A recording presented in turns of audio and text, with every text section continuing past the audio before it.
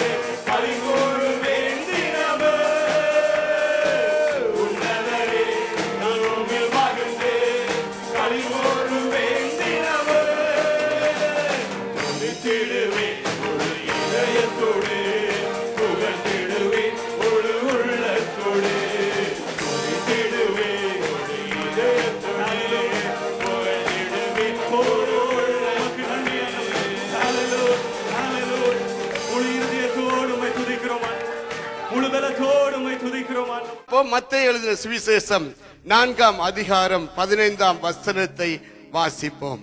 இருளில் இருக்கும் ஜனங்கள் பெரிய வெளிச்சத்தை கண்டார்கள். ஹலலூயா போதும். இங்கே பார்க்கிறோம் மரண இருளின் திசையில் இருக்கிறவர்களுக்கு வெளிச்சம் உதித்தது. அலலூயா ஆண்டவராய இயேசு கிறிஸ்து இந்த பூமியிலே மனுஷனாக பிறப்பதற்கு ஏறக்குறைய எண்ணூற்றி ஐம்பது ஆண்டுகளுக்கு முன்பாக வாழ்ந்த ஏசாயா தீர்க்கதரிசி உரைத்த வசனமே இந்த வசனம். மத்திய சுவிசேஷத்திலே அதை அங்கே மத்திய ஆக்கியவன் அதை வெளிப்படுத்தி காண்பிக்கிறதை பார்க்கிறோம். அருமையான தேவ பிள்ளையே இருளிலே இருக்கிற ஜனங்கள் பெரிய வெளிச்சத்தை கண்டார்கள். அந்த நாட்களிலே வாழ்ந்த ஜனங்கள் இந்த நாட்களிலே கூட ஜனங்களுடைய வாழ்க்கையிலே ஒரு நம்பிக்கை இல்லை ஒரு விசுவாசம் இல்லை. தங்களுடைய வாழ்க்கை எதை நோக்கி போகிறது எங்கு முடிகிறது என்ற ஒரு நம்பிக்கை இல்லாமல் வாழ்ந்து கொண்டிருக்கிறார்கள். அல்லேலூயா இந்த வார்த்தை சொல்லுகிறது மரண இருள் திசையில இருக்கிறவர்களுக்கு வெளிச்சம் உதித்தது. இன்னைக்கு மறித்தால் எங்கு போவோம் என்ற நிச்சயம் இல்லாதபடி ஜனங்கள் அங்கும் இங்கும் அங்கலாய்த்து ஓடி திரிகிறார்கள். இன்னைக்கு அநேகருக்கு தெரியும் மோட்சம் என்று உண்டு. ஆனால் அந்த மோட்சத்துக்கு எப்படி போவது? அந்த மோட்சத்தில் நாங்கள் நித்தியத்தில் எப்படி போய் பங்கடைய முடியும் என்று இன்றைக்கு அநேக கோடிக்கணக்கான ஜனங்கள் அங்கே தங்களுடைய கிரிகைகளினாலே தங்களுடைய தான தர்மங்களினாலே எப்படியாவது அந்த இடத்துக்கு சென்று விடுவோம் என்று நினைக்கிறார்கள். யோவான் எழுதின சுவிசேஷம். அங்கே ஒன்பதாவது முதலாம் அதிகாரத்தில் ஒன்பதாவது வசனத்திலே பார்க்கிறோம். உலகத்தில் வந்து எந்த மனுஷனை பிரகாசிக்க பண்ணுகிற அந்த ஒளியே மெய்யான ஒளி. அல்ல லூயா உலகத்துல வந்து எந்த மனுஷனையும் பிரகாசிக்க பண்ணுகிற ஒளியே அந்த மெய்யான ஒளி. அந்த ஒளி எந்த ஒளி? அல்ல லூயா இன்னைக்கு அநேகருடைய வாழ்க்கையில ஒளியை தேடி பயணம் செய்தவர்கள் அநேகர். இன்னைக்கு ஒளியை பார்க்க மலைக்கேறினவர்கள் அறிவியலை அதிகாலையில் இறங்கினவர்கள் அநேகர். ஆனால் அந்த ஒளியை பெற்றுக் கொண்டார்களோ என்றால் இன்றைக்கும் அநேக ஞானிகள் சொல்லுகிறது என்ன? நாங்கள் இன்னும் அதை தொடர்ந்து தேடிக்கொண்டே இருக்கிறோம். இன்னும் அதை காணவில்லை. அந்த ஒளியை நாம் இன்னும் கண்டுகொள்ளவில்லை. இன்றைக்கு அநேகர் அந்த மெய்யான ஒளியை காண்பதற்காக அநேக பிரயத்தனங்களை பண்ணுகிறார்கள்.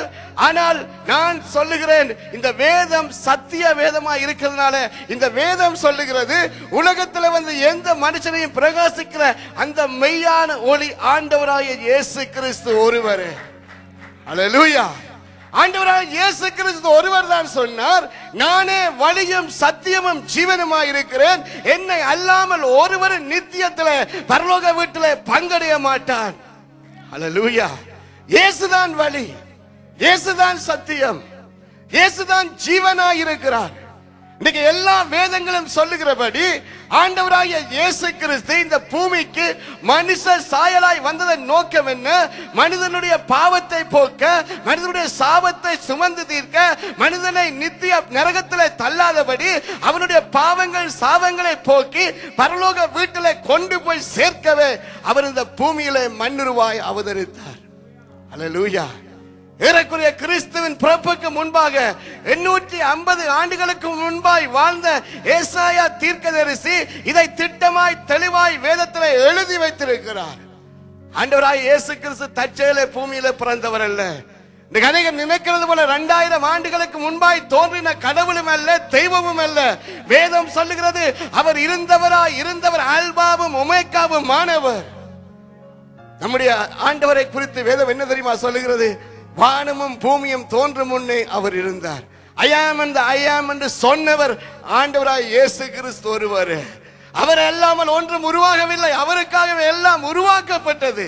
அருமையான தேவ பிள்ளையே அங்கே வேதத்தில் இந்த வசனத்திலே பத்தாவது வசனத்திலே பார்க்கிறோம். யோவான் சுவிசேஷம் முதலாம் அதிகாரத்தில் அங்கே பார்க்கிறோம். அவர் உலகத்தில் இருந்தார்.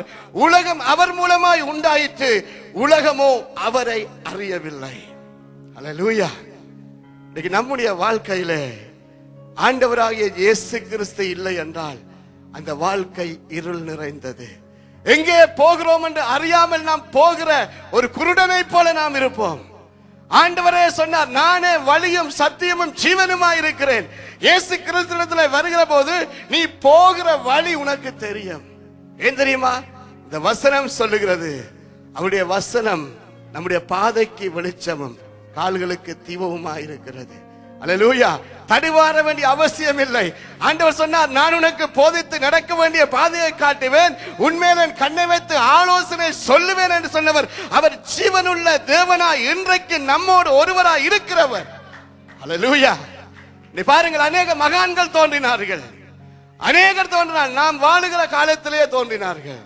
நாங்கள் மறிப்போம் ஆனால் உயிர்த்து விடுவோம். இத்தனை நாள்களுக்குள்ள மறுபடியுமா நாங்கள் உயிர் பெறுவோம். ஆனால் நான் சொல்லுகிறேன் இந்த உலகத்தில் பிறந்து மறித்த எவனும் எவரும் இதுவரைக்கும் உயிரோடு எழுந்ததும் இல்லை இனிமேலும் எழும்ப போறதும் இல்லை அலலூயா உயிரோடு எழும்பினவர்கள் உண்டு ஆனால் மறுபடியும் மறித்து போனார்கள். ஆனால் நான் சொல்லுகிற ஆண்டவராக இயேசு கிறிஸ்து மரித்தார் மூன்றாம் நாள் உயிரோடு எழுந்தார் இன்றைக்கும் ஜீவனுள்ளதவனாய் ஜீவிக்கிறார் மறுபடியும் மறித்து போகவில்லை. அவர் மறித்து உயிர்த்தெழுந்தவர் மூன்றாம் நாள் அவர் பரத்துக்கு ஏறி போனார் போகிற போது சொன்னார் எப்படி நான் ஏறி போனேனோ அப்படியே திரும்ப வருவேன். அலலூயா அவர் மீண்டும் வரப்போகிறார். அலலூயா இன்னைக்கு நான் சொல்லுகிறது உங்களுக்கு கேட்கிற போது ஒரு கதை போல ஒரு காவியம் போல இருக்கலாம். ஆனால் இது சத்திய வார்த்தை. இது நிறைவேறும் நாட்களிலே நாம் வாழ்ந்து கொண்டிருக்கிறோம். அருமையான தேவ பிள்ளையே ஆண்டவராக இயேசு கிறிஸ்துவத்திலே வருகிற போதுதான் வெளிச்சம் உண்டாகிறது. இருள் நீங்குகிறது. இன்றைக்கு அநேகருடைய வாழ்க்கையிலே பார்க்கிற போது அவர் சொல்லுவார்கள் ஜென்ம பாவம் கண்ம பாவம். இந்த பாவத்தினுடைய கொடுமைதான் என்னுடைய வாழ்க்கையிலே. அங்கே வெ- வெறுமை தரித்திரம் வியாதி வியாகுலம் இழப்புகள் என்று சொல்லிக் கொள்வார்கள்.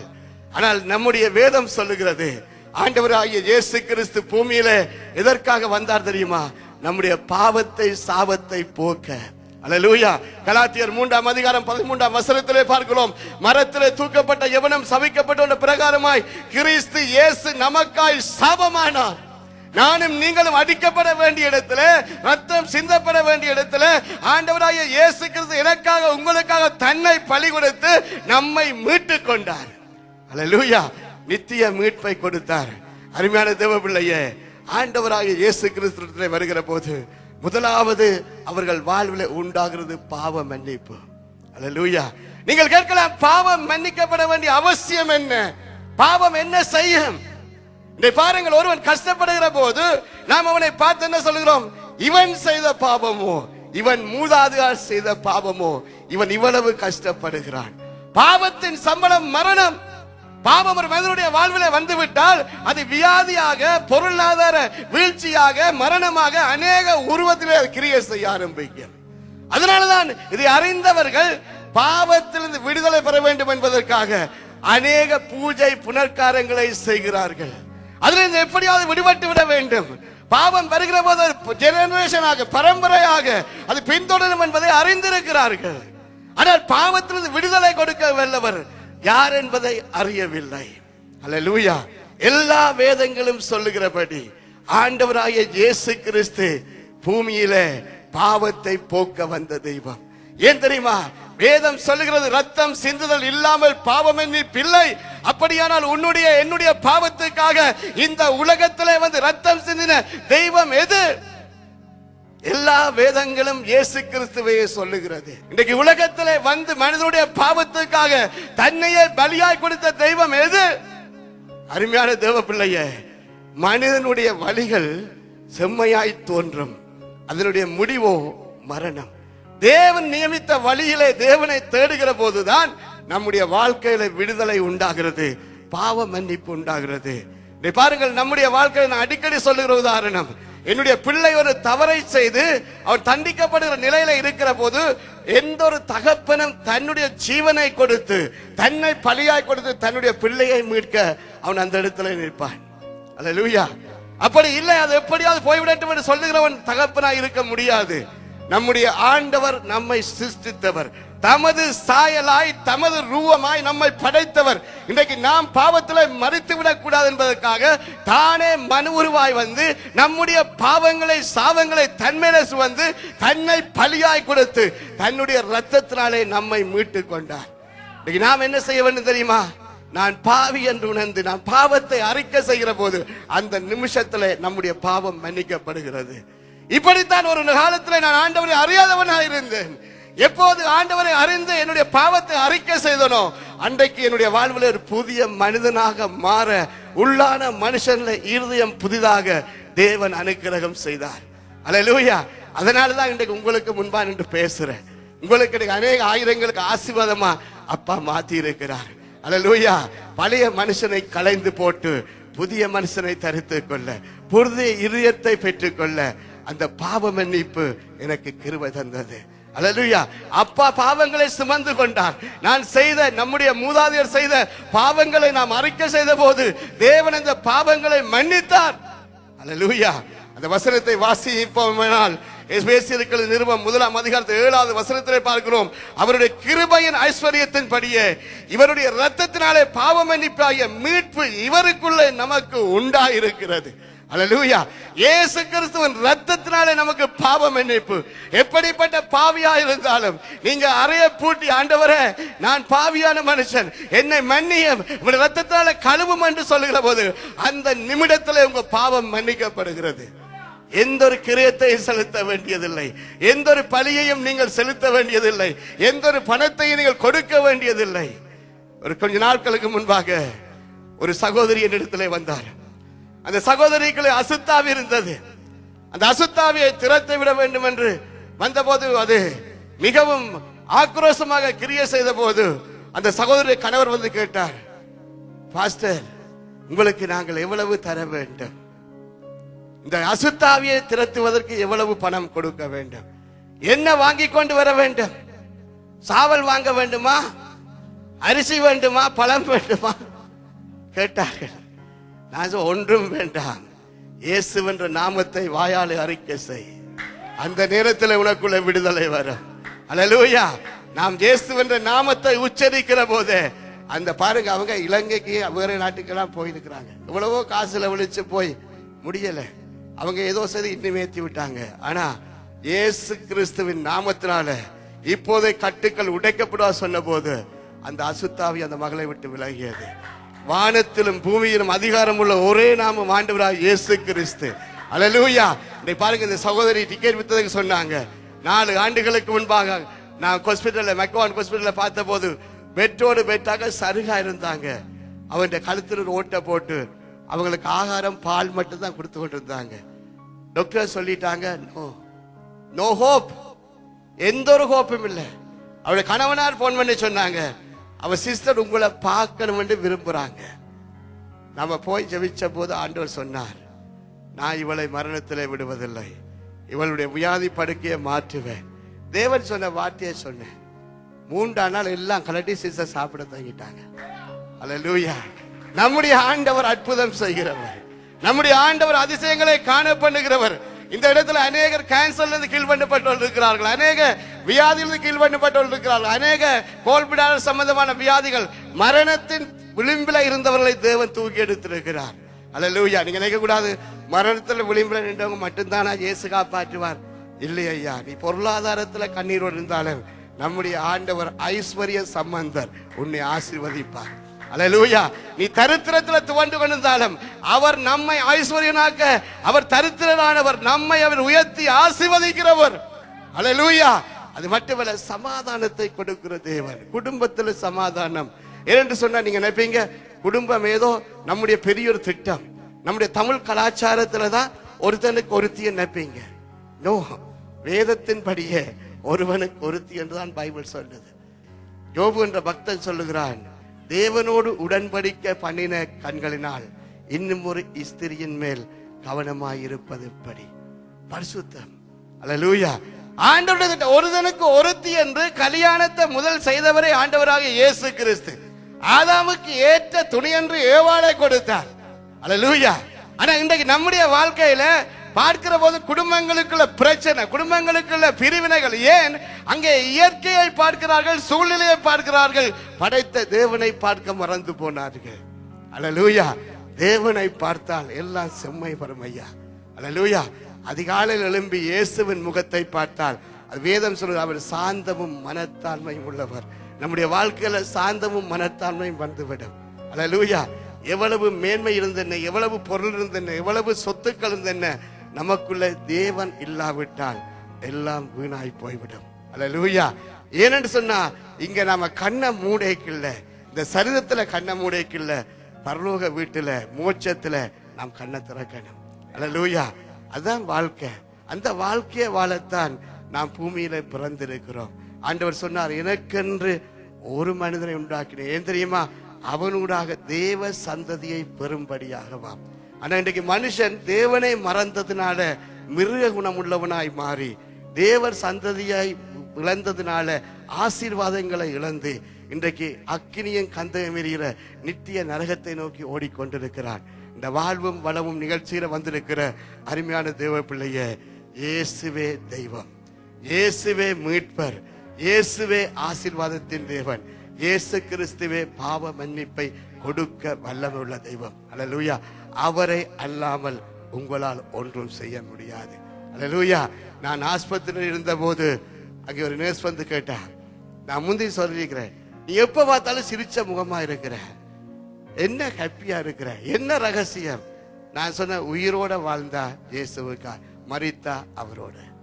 இதான் அந்த ரகசியம். உயிரோட வாழ்ந்தா இயேசுவுக்கா மறிச்சா அவரோட. அல்லேலூயா. இந்த நம்பிக்கை கண்ணை மூடின அடுத்த அப்பாவுடைய பாதத்தில் இருப்பேன். அல்ல லூயா இதுதான் ஐயா இருளில் வாழுகிற ஜனங்கள் பெரிய வெளிச்சத்தை கண்டார்கள். மரண இருளின் பள்ளத்தாக்கில் இருந்தவர்களுக்கு வெளித்தம் உரித்த மரண பயம். நீங்க எத்தனை பேர் இருக்கிறீங்க? அறுபத்தஞ்சு தாண்டிட்டுது. ஆனா மரணம் வேண்டா ஐயோ! எப்படி இருக்குமோ? எனக்கு அறுபதுக்கு தாண்டல ஐம்பதையே தாண்டல. ஆனா மரண பயம் இல்லை. லூயா ஏனென்று சொன்னார் இயேசு சொன்னார் எங்கிருந்து வந்தேன்? எங்கே போகிறேன் என்பதை நான் அறிந்திருக்கிறேன் சொன்னார்.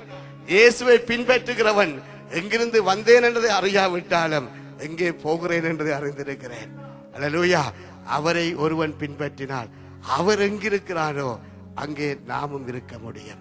அலலூயா ஆகவே நானே வழியும் சத்தியமும் ஜீவனும் என்று சொன்ன இயேசு கிறிஸ்துவை இந்த வாழ்வும் வளமும் நிகழ்ச்சியில வந்து நீங்கள் பற்றி கொள்வீர்களானால் உங்கள் வாழ்வு வளமாய் மாறும். அலலூயா ஒரு நிமிடம் நான் ஜெபம் பண்ண போகிறேன். ஆண்டவர் சமூகத்தில் ஒப்பு கொடுக்க போகிறேன். இந்த வேலையில் உங்க சரீரத்தில் என்ன பலவீனமாக இருந்தாலும் என்ன வியாதியா இருந்தாலும் நீங்க அந்த வியாதி உள்ள இடத்துல கரங்களை வையுங்கள். அன்பு மகா இறக்க நிறைந்த பரலோகத்தின் பிதாவே இந்த ராத்திரி வேளையில உங்க பாதத்துல உங்க குமாரன் இயேசு கிறிஸ்து நாமத்துல வந்து நிற்கிறேன் ஆண்டவரே. ஐயாவுடைய சமூகத்தில் உம்முடைய பிள்ளைகளுக்காய் பரிந்து பேசும்படியாக ஐயா கட்டுண்ட ஜனங்கள் கட்டவிழ்க்கப்படத்தக்கதாய் ஆண்டவரே வியாதியிலும் ஆண்டவரே வியாகுலத்திலும் வேதனையிலும் இருக்கிற ஜனங்கள் மத்தியில உம்முடைய ஆசீர்வாதமும் உம்முடைய சமாதானமும் ஐயாவுடைய சந்தோஷமும் வரும்படியாக இந்த வேளையில மன்றாடுகிறேன் ஆண்டவரே. ஆண்டவரே நீர் அற்புதங்கள் அடையாளங்களினால் உம்முடைய வார்த்தைகளை உறுதியாக்குற கத்தர் அல்லவோ இந்த நாளிலுமாய் யார் யாரெல்லாம் என்ன வியாதியோடு இருக்கிறார்களோ அந்த வியாதி உள்ள இடத்துல கத்தாவே உம்முடைய தளம்புள்ள கரம் வருவதாக ரீபாபா சந்தராபா ஆண்டவரே தடைகளை உடைக்கிறேன் ஆண்டவரே. இப்போதே அற்புத சுகம் உண்டாவதாக இயேசு கிறிஸ்துவின் நாமத்தினாலே இப்போதே குணமாவதாக எப்படிப்பட்ட ரோகமா இருந்தாலும் எப்படிப்பட்ட வியாதியின் கட்டாக இருந்தாலும் நசரனாகிய இயேசு கிறிஸ்துவின் நாமத்தினாலே இப்போதே சுகம் உண்டாவதாக ஆரோக்கியம் உண்டாவதாக ஆண்டவரே கண்ணீரோடு வேதனையோடு மன உளைச்சலோடு இருக்கிற அநேக ஜனங்களை பார்க்கிறேன். ஆண்டவரே இந்த வேளையிலுமாய் உம்முடைய சமாதானத்தின் ஐயா கரத்தை நீட்டுவீராக. உள்ளத்துல சமாதானம் உண்டாவதாக குடும்பத்தில் ஒரு சந்தோஷம் உண்டாவதாக. ஐயா அடைக்கப்பட்ட ஆசீர்வாதத்தின் ஊற்றுக்கள் ஆண்டவரே உம்முடைய நாமத்தினால இப்போதே திறக்குவதாக ஆண்டவரே. உடைய கருத்தில் ஒப்புக் கொடுக்கிறேன் ராஜா. இந்த இடத்துல வந்தவர்கள் நல்லதென்று சொல்லத்தக்கதாய். அற்புதத்தை காண பண்ணும் அதிசயத்தை காண பண்ணும் ஆண்டவரே நீர் ஜீவனுள்ள தேவன் என்பதை இந்த ஜனங்கள் கண்டு விசுவாசிக்கத்தக்கதாய். இப்பொழுது அற்புதம் நடப்பதாக அதிசயங்கள் நடப்பதாக ஆண்டவரே இப்போதே உம்முடைய அற்புத கரம் ஒவ்வொரு பிள்ளைகள் மேலும் அது அமர்வதாக ஒப்புக் கொடுக்கிறேன் ஆண்டவரே. இயேசு கிறிஸ்துவின் நாமத்தில் ஜெபிக்கிறேன். என் ஜீவனுள்ள நல்ல பிதாவே ஆமேன். இப்பொழுது நீங்கள் பார்த்த தேவ செய்தி மிகவும் உங்களுக்கு ஆசீர்வாதமாக இருந்திருக்கும் நாங்கள் நம்புகிறோம். மீண்டும் நீங்க தேவனுடைய ஆசீர்வாதத்தையும் விடுதலையும் பெற்றுக்கொள்ள நீங்க தொடர்பு கொள்ள வேண்டிய முகவரி டொரண்டோ எழுப்புல சுபதேச சபை 2721 seven twenty one Markham road unit nineteen Toronto Ontario தொலைபேசி இலக்கங்கள் four one six eight two nine zero three seven five or nine o five eight three nine nine four seven six எங்கள் ஆராதனை நேரங்கள். பிரதி ஞாயிற்றுக்கிழமை தோறும் காலை பத்து மணிக்கும் மாலை ஐந்து அரை மணிக்கும் விசேட ஆராதனைகளும் பிறகு வியாழக்கிழமை தோறும் மாலை ஏழு மணிக்கு விடுதலை ஆராதனையும் நடைபெறும். உங்கள் அனைவரையும் அன்போடு அழைக்கிறோம். மீண்டும் உங்களை அடுத்த சனிக்கிழமை காலை எட்டு முப்பது மணிக்கு சந்திப்போம். எதிர்பார்ப்போடு காத்திருங்கள். கத்ததாமே உங்களை ஆசீர்வதிப்பாராக.